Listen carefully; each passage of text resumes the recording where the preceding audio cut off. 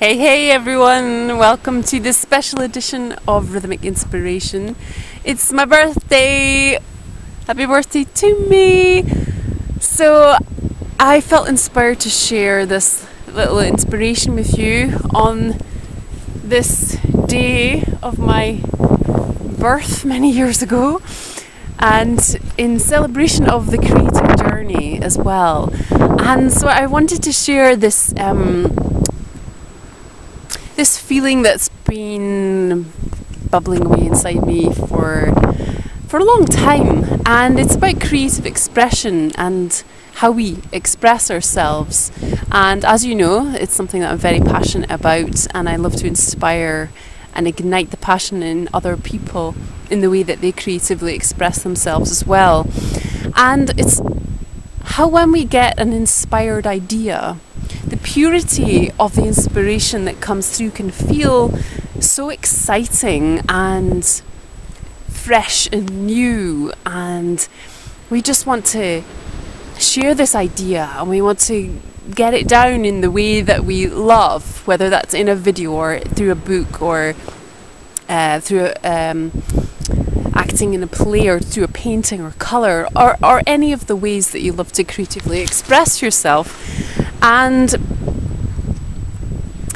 it's when the uh, when we begin to express the purity of the inspiration that comes through we can get lost in the flurry of inspiration in the, the writing of the novel or, or the painting of the of the picture. And often for a lot of creative people, the end result isn't quite what we envisaged. It isn't quite, it doesn't quite capture what we imagined or what we felt as the original pure inspiration. Or it seems that way to us because there's an apparent division between the the feeling and the profundity of the information and the inspiration that we receive to the way that we express it because it channels through our, our mind and our body. So it's like the inspiration moves through a filter and so it emerges in a in a different way than we were expecting often. And what I want to share is that is to do it anyway because the essence of what you wanted to share still emerges, it still gets through, and people can feel that and they can be inspired by it, and it makes a difference in other people's lives. It makes a difference in the world sharing that inspiration that, that you receive. So, although the end result may not be what you wanted it to be or uh, what you expected it to be, do it anyway. It's important to begin and to allow that inspiration to flow through you and to emerge in the way that it does. Because it does make a difference and um, it might, the end result might be something even better than what you expected. But always the essence and the energy of that original inspiration, it always comes through it's always felt by someone, it's always seen by someone. And even if it's just one person, if it's thousands, if it's millions, it makes a difference.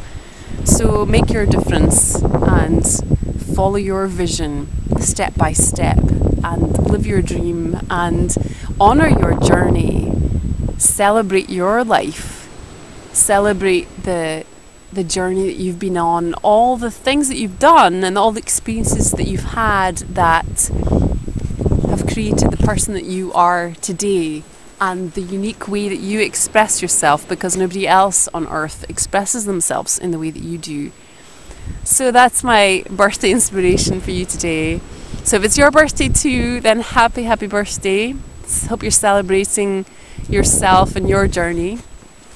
I'm having a fantastic weekend here. Uh, this is on Findhorn Bay right now, but I've been on a little tour so until next time, keep creating, keep connecting, keep being inspired, keep sharing your visions, and I will see you, my hair, and I will see you next time. Okay, bye for now. Thanks for watching.